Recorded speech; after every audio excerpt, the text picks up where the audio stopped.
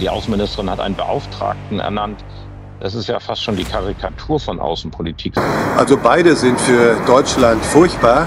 Der Scholz steht hier ehrlich für diesen ganzen linksgrüne Desaster. Das ist Teil seiner Politik, das will er so. Bei Merz ist es so, der täuscht er, der betrügt die Wähler ja. Meine Damen und Herren, ich habe einige News für Sie. Fangen wir mit diesem Video an. Ja, Lemke sagt ja, oh, es geht überhaupt nicht, dass jetzt die Diskussion über Abschiebung hier in diesem Land läuft hinsichtlich ähm, der Syrer in diesem Land. Ich sage, wenn ich solche Videos sehe, ganz, ganz klar, wir können da einige Leute abschieben, nämlich genau solche Leute, die Folgendes auf den deutschen Straßen von sich geben. Ja, die passen super nach Syrien jetzt zum neuen Regime. La ilaha illallah, Muhammad Rasulullah, Muhammad Rasulullah, La ilaha illallah.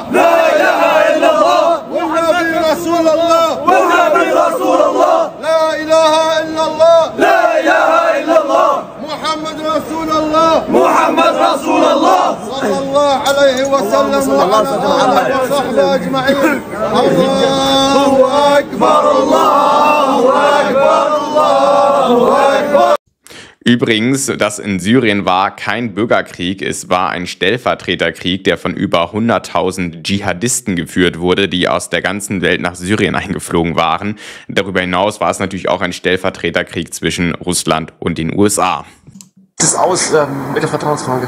Die AfD verlangt seit drei Jahren, äh, dass es zu Neuwahlen kommt, dass es mit der Ampel nicht weitergeht. Wir haben jeden Monat 20.000, die über unsere Grenzen kommen, unkontrolliert. Die Klima-Energiepolitik macht unsere Wirtschaft kaputt. Wir brauchen unbedingt Neuwahlen und dafür wird die AfD auch stehen im Bundestag, keine Frage. Nur wird nach der Wahl auch nicht viel besser mit Merz. Das ist ja, das ist ja genau das Problem.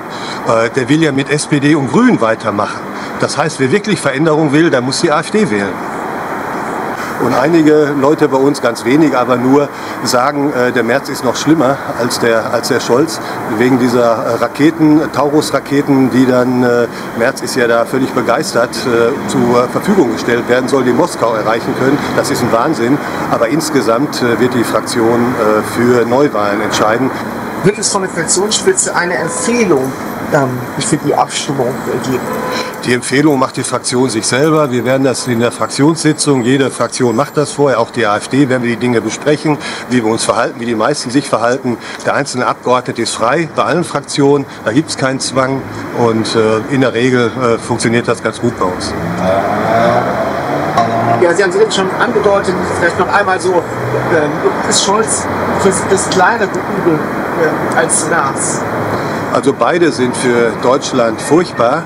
Der Scholz steht hier ehrlich für diesen ganzen linksgrüne Desaster. Das ist Teil seiner Politik, das will er so. Bei Merz ist es so, der täuscht der, der betrügt die Wähler ja. Der hat alle unsere Programmpunkte übernommen in der Migration, tut so, als wenn er sie umsetzen könnte, wird aber nur mit SPD und Grünen noch zusätzlich wahrscheinlich äh, koalieren. Er wird nichts davon umsetzen können. Das ist ein Betrug durch und durch in allen konservativen Wählern und das müssen wir unseren Leuten klar machen machen. Das müsste eine Wähler klar machen. Wer eine wirkliche Veränderung will, der muss AfD wählen.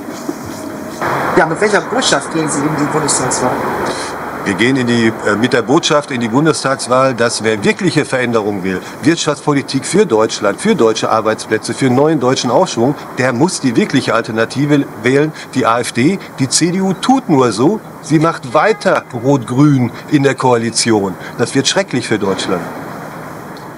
Ja, gutes Interview von Baumann. An dieser Stelle nochmal der Hinweis, dass ProSieben ja momentan sehr viel Agenda macht äh, gegen die AfD, beziehungsweise auch hier natürlich Einflussnahme auf den Wahlkampf ausüben möchte. Jetzt gab es dort eine Sendung bei Joko und Klaas, wo alle drei Spitzenkandidaten geladen waren, außer natürlich eine Alice Weide. Ne? Die hat man natürlich ausgespart. Und da wurde dann nochmal appelliert, ähm, dass man doch demokratisch sein sollte und so. Ne? Also Sie kennen ja diesen ganzen äh, heuchlerischen Kram, der da gesagt wird ja, da wird nochmal ein Video zu kommen, wollte ich schon mal so sagen. Ein Habeck hat es sogar auf seinem Kanal repostet, äh, das soll schon alles heißen. Ne? Also Joko und Klaas sind auch nichts anderes als, ähm, ja, sag ich mal, Systemlinge, die entsprechend äh, alles versuchen, um ihre, ja, Gratismut zur Schau zu stellen.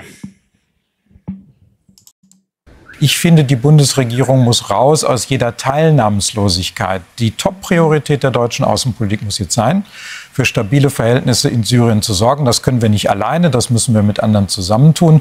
Wir müssen ähm, alles dafür tun, dass dort keine Verfolgung stattfindet. Dann sind nämlich die Voraussetzungen gegeben, dass viele Menschen, es sind ja fast eine Million aus Syrien, die zu uns geflohen sind, dass viele dieser Menschen auch wieder zurückkehren können. Doch Baerbocks Worten folgen bisher keine Taten, sondern die Einsetzung eines Syrien-Koordinators. Die scheidende Außenministerin offenbar von Reiseunlust befallen. Diese Chance muss genutzt werden. Ich erwarte von der Bundesregierung, dass sie endlich Außenpolitik macht, dass jemand vor Ort ist. Die Außenministerin hat einen Beauftragten ernannt. Das ist ja fast schon die Karikatur von Außenpolitik. Sie muss selbst in die Region fahren, muss mit den Golfstaaten sprechen. Ja, das sollte sie tun. Allerdings dürfen wir nicht vergessen, dass eine Frau Baerbock ein Elefant im Porzellanladen ist und wahrscheinlich auf einer solchen Reise mehr Schaden anrichten würde, als dass es irgendwas bringen würde und die Lage stabilisieren würde im Nahen Osten bzw. in Syrien direkt. Ich muss mit der Türkei, unserem NATO-Partner, sprechen. Die Bundesaußenministerin empfängt heute in der Villa Borsig etliche europäische Kollegen. Die Themenpalette könnte bunter nicht sein. Ukraine und Syrien, Russland, Iran. Es öffnet sich ein Fenster, um möglicherweise etliche Krisen an Europas Grenzen zu befrieden. Na, dann dürfen wir uns ja jetzt wieder freuen auf neue Nachrichten von unserer besten Außenministerin aller Zeiten, was so bei diesen Treffen herausgekommen ist äh, Vorschläge gemacht äh, nach Israel, was sie alles nicht tun dürfen, auf keinen Fall die Hisbollah entwaffnen. Ne? Äh, also der Grund, warum jetzt das Assad-Regime zusammengebrochen ist, war im Wesentlichen, dass die Hisbollah als Schutzmacht ausgefallen ist. Und natürlich auch jetzt wieder, also auf keinen Fall dürfe man also syrische Häfen und Flugplätze bombardieren, was Israel macht in einer großen Kampagne. Ich glaube, das sehen alle Nachbarn anders, äh, weil mh, die Leute, die sich da jetzt gerade anschicken, äh, die Regierung zu übernehmen, Justizminister heute übrigens gerade ernannt, äh, hat schon mal gesagt, also alle Frauen natürlich, die bislang Richterin waren, das ging in Zukunft nicht mehr. Also man orientiert sich so Richtung Taliban Taliban. Also dass diese Leute keinen Zugriff mehr auf Chemiewaffen und Kampfflugzeuge haben, ich glaube, da alle in in einer Region, auch wenn sie nicht Israelis sind, atmen auf. Und schauen wir auf Ihren Aufreger des Tages. Da werden wir wohl noch mehrere Male darüber berichten können, denn die Diskussion geht ja gerade erst los. Wieder mal eine Fußball-Weltmeisterschaft in einem Wüstenstaat. Freuen Sie sich auch schon so wie wir? Also Katar war auch noch nicht heiß genug. Ne? Jetzt geht es gleich nach Saudi-Arabien. Da sind die Temperaturen äh, noch mal höher. Ja, also äh, die bleiben sich treu. Ja? Bei der FIFA muss man sagen. Also immer Händchen halten mit Diktaturen. Was mich so ein bisschen stört, dass wir das ja über Umwege mitfinanzieren, über, über unsere, unsere Fernsehgebühren. Denn also die Rechte sind sehr, sehr teuer äh, für den Fußball. Und ich finde, das könnte man sich doch eigentlich mal in Deutschland äh, auf die Fahne schreiben. Keine öffentlichen Gelder für Mafia-Organisationen. Das wäre doch mal ein Vorschlag.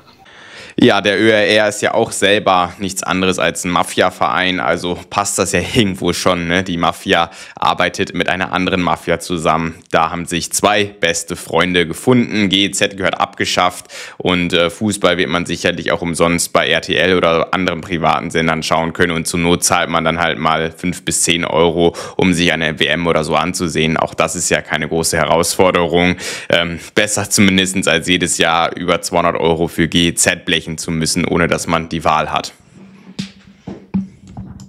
Gleich geht es mit dem Video weiter, doch ich möchte an dieser Stelle einmal vielen Dank sagen an alle Kanalmitglieder, welche meine unabhängige journalistische Tätigkeit hier mit einer Anti-GEZ-Gebühr unterstützen. Und ein ganz besonderer Dank geht heraus an Trinkwasserverleih, welcher ja eine Anti-GEZ Super Premium-Mitgliedschaft abgeschlossen hat, sowie einem Detlef Horn, welcher sogar Ehrenmitglied von diesem Kanal geworden ist. Vielen, vielen Dank dafür.